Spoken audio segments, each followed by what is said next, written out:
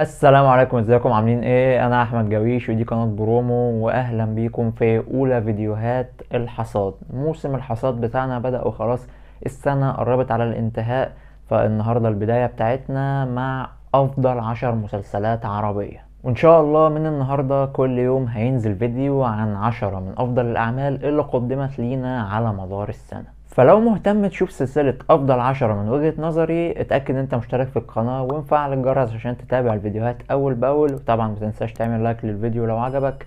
ويلا بينا نبدأ. السنة دي كانت دسمة جدا على مستوى الأعمال العربية برغم إن أنا مشفتش منها كتير ولكن برضو السنة دي كانت دسمة جدا والسنة دي هتذكر في التاريخ إن هي كانت البداية للأعمال العربية. الأعمال العربية بدأت تغير من نفسها بدأت تتطور وبدأنا نخش في مناطق ما كناش بندخل فيها قبل كده. فأعتقد إن السنة دي ستخلد في التاريخ إن هي كانت بداية محاولة المسلسلات العربية لتغيير جلدها. ولكن قبل ما نبدأ في تنويه صغير والتنويه ده هيكون حاضر معانا في كل حلقات أفضل عشر. دلوقتي القائمة اللي أنا هقولها دي هي بتعبر عن وجهة نظري الشخصية وطبعا أنا زي ما قلت أنا مشفتش كل الأعمال وممكن عمل تكون أنت شايفه أقوى عمل في السنة هو بالنسبة لي مش من ضمن أفضل عشر. فالقائمة دي بتعبر عن رأيي الشخصي اللي ربما تتفق أو تختلف معاه. وفي كمان يعني بعض الأعمال اتحطت في القائمة دي لمجرد إن إحنا نكملهم عشرة بس. أو زي ما بنقول يعني إن هي يعني أفضل الخيارات المتاحة. يعني هي المسلسلات اللي أنا شفتها كانت أكتر من عشرة ولكن مش كلهم يدخلوا ضمن قائمة أفضل عشرة. فقعدت أوازن شوية الموضوع مع نفسي لغاية ما وصلت لعشرة ولكن هيبقى فيها بعض الأعمال اللي موجودة لاكتمال القائمة مش أكتر. ورقم عشرة معانا هو واحد من المسلسلات اللي اتحطت في القائمة دي من أجل إن إحنا نوصل لعشرة بس هو مسلسل اتزان. اتزان برضو خلينا نديله احترامه مسلسل قدم نوع جديد من الدراما شوية ولكن ما كانش أفضل شيء بالنسبة لي ولكن برضو في نفس الوقت هو كان أحسن من خيارات تانية موجودة وده اللي خلاه يبقى موجود معانا في رقم عشرة. رقم تسعة بقى هو مسلسل التمانية. مسلسل التمانية ما يختلفش كتير عن اتزان بالنسبة لي ولكن لما قعدت أفاضل بينهم وبين بعضهم مين ياخد عشرة ومين ياخد تسعة قلت لا يعني التمانية صارفين ومكلفين فالصرف بتاعهم ده هو اللي ضمن لهم إن هم يبقوا موجودين معانا في المرتبة التاسعة.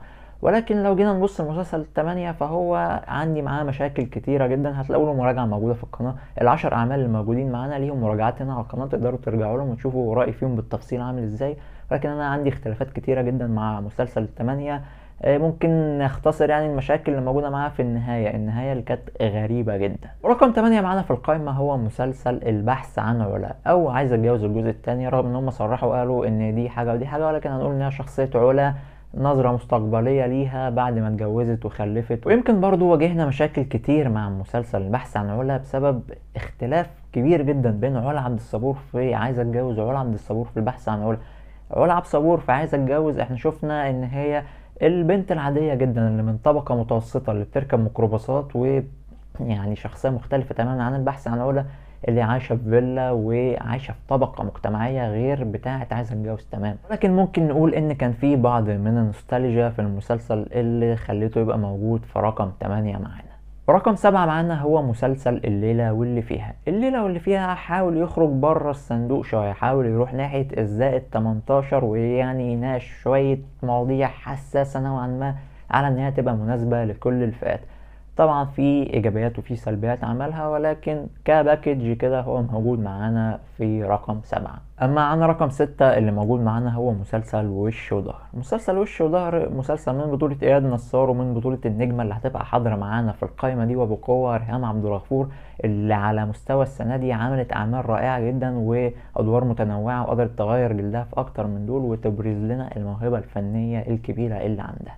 مسلسل وش وظهر واحد من الأعمال الكويسة اللي إحنا شفناها السنة دي. عندي بعض التحفظات اللي كانت موجودة عليه واللي اتكلمت فيها من المراجعة ولكن هو بالنسبة للمسلسلات العربية موجود معانا في رقم ستة. نخش بقى على مرحلة ال top five. كل اللي فات ده حمادة واللي جه حمادة تاني خالص ورقم خمسة معانا هو مسلسل البيت بيتي. البيت بيتي هو مسلسل رعب كوميدي من بطولة كريم محمود عبد العزيز ومصطفى خاطر. اللي قدروا الاتنين يقدموا لنا كيمياء حلوة جدا ويقدموا لنا ثنائية لطيفة قوي في إطار من الرعب الكوميدي اللي دمه خفيف اللي بيخليك مستني الموسم التاني. والحقيقة التركيبة دي كلها قدرت إن هو تخليه موجود معانا في المرتبة الخامسة. نروح بقى لرقم أربعة وهو مسلسل المتهمة. مسلسل المتهمة واحد طبعا من أفضل أعمال السنة اللي أنا شفتها من وجهة نظري إيه ولكن هو كان عنده مقومات تخليه ينافس على رقم واحد. يعني هو موجود معانا في رقم أربعة وبالنسبة لي واحد من أفضل الأعمال اللي أنا شفتها بس في حاجات كتيرة جدا ما قدرش يستغلها وبالنسبة لي كانت تخليه يقدر ينافس على رقم واحد وهو مستريح. ولكن باللي أنا شفته منه فخلاه إن هو يبقى موجود في القائمة بتاعتي رقم أربعة. بكده بقى نكون وصلنا لل level الوحش ودخلنا على ال top 3 رقم ثلاثة اللي موجود معانا في القائمة هو ممكن المشاكل كلها تدور حوالين المسلسل ده. رقم ثلاثة بالنسبة لي لعام 2022 هو مسلسل غرفة 207 يعني ممكن الجملة اللي أنا قلتها دي تثير الجدل جدا لأن في ناس هتبقى شايفة إن هو رقم واحد وتقولوا لي ليه أنت حطيته في رقم ثلاثة أقول لكم عادي يا جماعة ده رأيي الشخصي. بالنسبة لي مسلسل غرفة 207 كان منافس على القمة إلى أن وصل الحلقة السابعة خلصت وجات الحلقة الثامنة هي هنا كانت نقطة الخلاف بيني وبين المسلسل إن الحلقة الثامنة والتاسعة يعني قللوا جدا من قدر المسلسل بالنسبة لي. كان ماشي الكيرف بتاعه فوق وكان فعلا هيكون واحد من أفضل أعمال السنة إن لم يكن أفضله. لكن الحلقة الثامنة والتاسعة جم بوظوا الدنيا بالنسبة لي. طبعا اتكلمت بالتفصيل في المراجعة بتاعته اللي هتلاقوها موجودة هنا على القناة.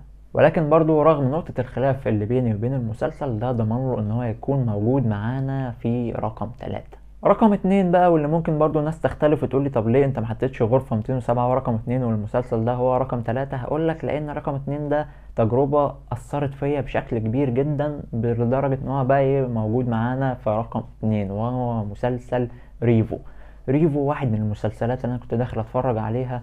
بدون أي حاجة ما عنديش أي تطلعات وبقول ده هيبقى مسلسل هو شقلب ودني جايبين واحد مغني البطل وخلاص. فيعني إيه لزوم السبوبة. ولكن اتفاجئت بمسلسل حلو جدا مسلسل اللي هو يلمسك كده. هتلاقي فيه حاجات مؤثرة جدا يعني هتعيش معاه تجربة حلوة والحاجات دي هتأثر فيك بشكل كبير وهتفضل فاكرها. فالحقيقة التجربة الممتعة دي خلت إن هو بالنسبة لي يكون رقم اتنين في القائمة بتاعتي لأفضل عشر مسلسلات عربية. وبكده بقى بنكون وصلنا لرقم واحد موجود معانا في القائمة. رقم واحد أعتقد إن أغلب الناس هتبقى عرفت هو مسلسل إيه.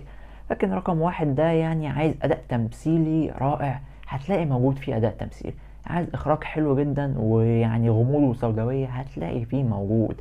عايز أي حاجة هتبقى موجودة هتبقى موجودة معاه مسلسل لا يختلف اطلاقا عن أي مسلسل أجنبي حلو أنت بتشوفه. مسلسل قدر يعرفنا إن عندنا حاجات كتيرة جدا نقدر نستغلها ونقدر نقدم أعمال كويسة. مسلسل منعطف خطر. منعطف خطر هو التجربة الأفضل بالنسبة لي في عام 2022 والحقيقة واحد من أفضل المسلسلات العربية اللي أنا شفتها في السنين الأخيرة. مستوى غموض رائع وتحقيق جميل جدا. أداء تمثيلي رائع من كل الأبطال اللي موجودين فيه. تجربة الحقيقة كانت قوية جدا جدا جدا لدرجة إن هي موجودة معايا رقم واحد. وأعتقد إن مش ناس كتيرة هتختلف معايا وهيكون هو بالنسبة لهم برضو رقم واحد. وبكده بنكون انتهينا من أول قائمة في موسم الحصاد ولكن طبعا معانا قوائم تانية هنكون موجودة معانا بشكل يومي. ولكن برغم إن يمكن الإنتاجات العربية ما كانتش كتيرة قوي السنة دي ما كانتش تضاهي يعني أعمال الإنتاجات الأجنبية اللي إحنا بنشوفها ولكن شفنا مسلسلات حلوة شفنا بوادر خير جدا إن إحنا ربما مستقبلا نبقى زينا زي الإنتاج الأجنبي بالظبط. وبس كده اعزائي المشاهدين نكون وصلنا لنهاية فيديو النهارده. يا ريت لو عجبكم تدعموني ب like و share لي سيبوا لي رايكم في القائمة بتاعتي وسيبوا لي القائمة الشخصية بتاعتكم أنتوا تحت في الكومنتات. تنسوش تعملوا like للفيديو و share مع أصحابكم وتأكدوا أنتم مشتركين في القناة ومفعلين الجرس عشان يوصلكم كل جديد. وأشوفكم تاني في فيديوهات جاية كتير إن شاء الله وقوايم جاية كتير إن شاء الله. سلام عليكم.